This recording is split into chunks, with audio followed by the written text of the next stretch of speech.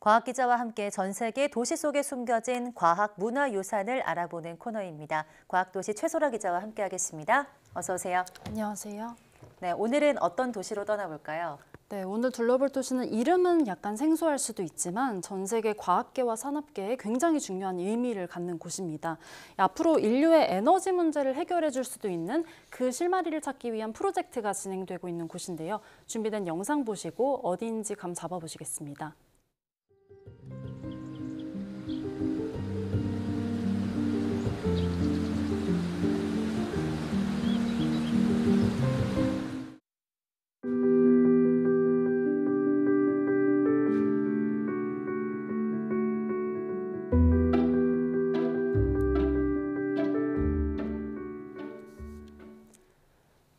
오늘 둘러볼 도시는 프랑스 남동부의 소도시 어, 생폴레 듀랑스입니다. 네. 서초구 정도 면적의 인구는 천여 명에 불과한 말 그대로 소도시인데요.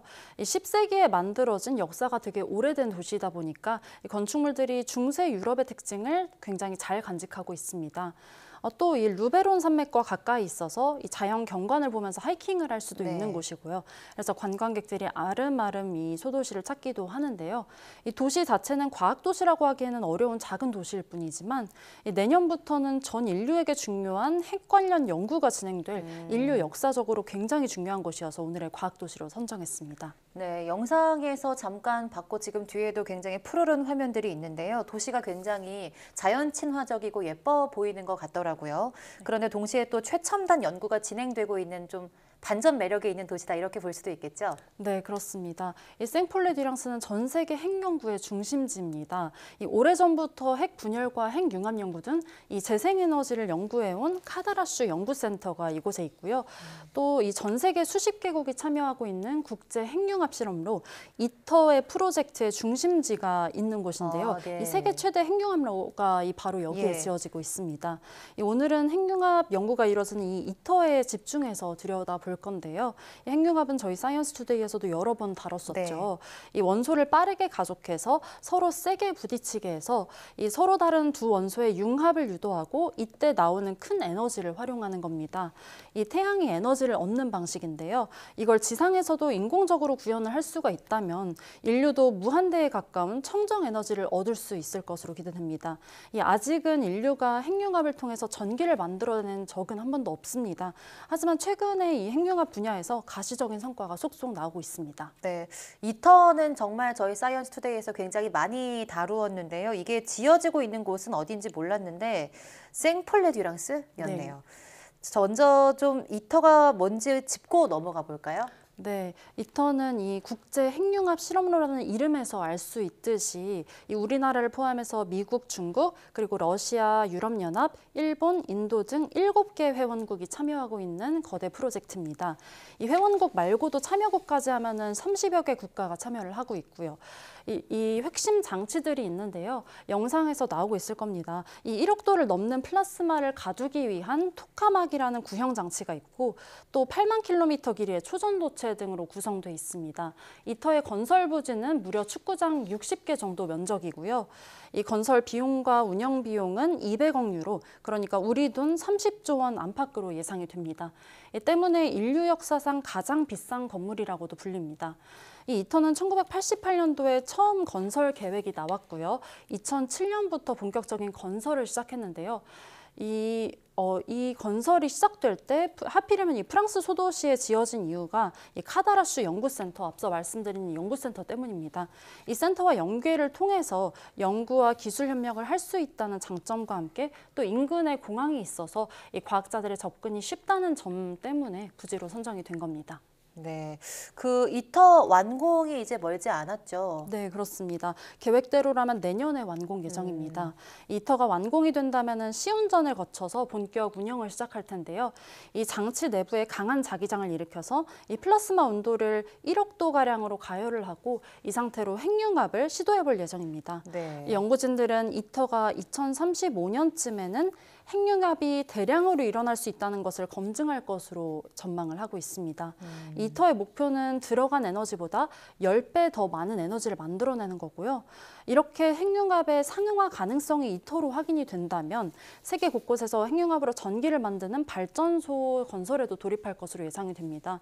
아시는 것처럼 핵융합은 이 원료나 반응물에 탄소화합물이 전혀 들어가지 않아서 온실가스 배출 우려가 없는 완전한 청정 이 에너지원이고요. 네. 이또 원료인 중수소와 삼중수소가 지구상에 풍부하다고 이 알려져서 핵 분열을 인- 이용하는 이 원전과 달리 또 폐기물의 반감기도 짧거든요. 네. 그래서 방사성 폐기물 걱정도 덜합니다. 아, 또 현재 재생에너지보다도 이 저렴할 것으로 보는 전망이 우세하기도 하고요. 네, 정말 이게 꿈의 에너지다 이렇게 불릴만 한데 저희가 이 터 나올 때마다 꼭 또 나오는 게 우리나라도 핵융합 장치가 있죠. K스타인데요. 네. 이거는 좀 이터랑 뭐가 다른 걸까요? 네, K스타 이른바 한국형 인공태양이죠.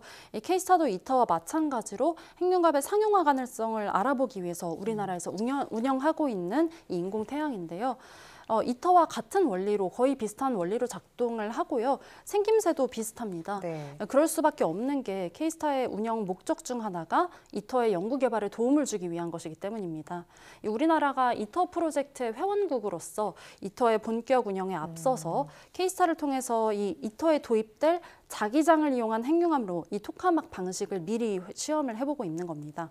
이 K스타는 2년 전에 어, 플라스마 불꽃을 30초가량 유지하는 데 성공을 했고요.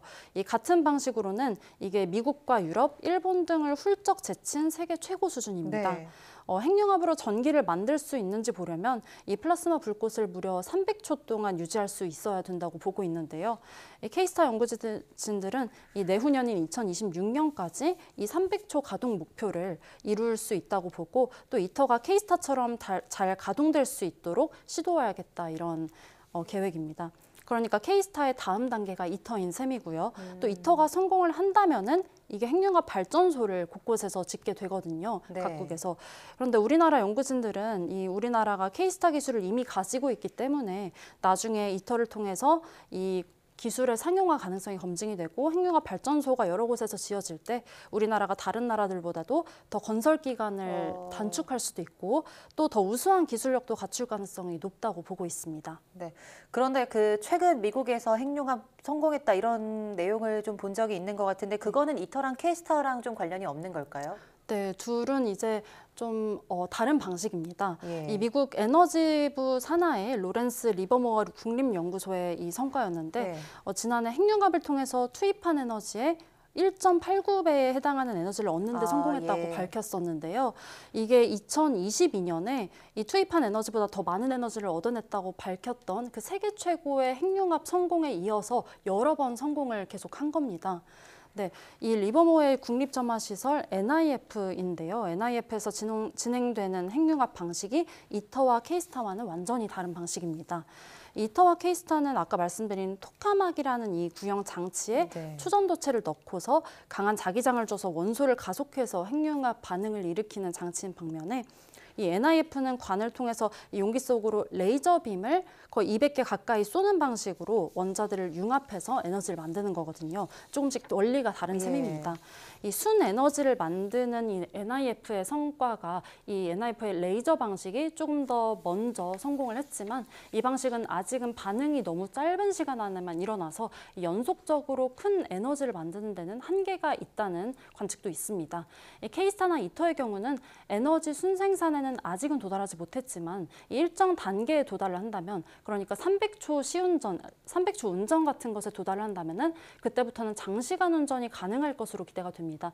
다시 말해서 미국의 레이저 방식과 또 케이스타와 이터의 방식 모두 각자의 장단점이 있는 겁니다. 하지만 이 두 기술이 경쟁 관계에 있는 거는 또 아닙니다. 이 투 트랙으로 핵융합 발전에 다가가면서 이후에 이 기술이 검증됐을 때 안전성이라던가 최종 에너지 생산 효율이 더 높은 것이 채택이 될 수도 있고요. 네. 아니면은 또 두 개의 방식이 서로를 보완하는 방향으로 함께 채택될 수도 있는 겁니다.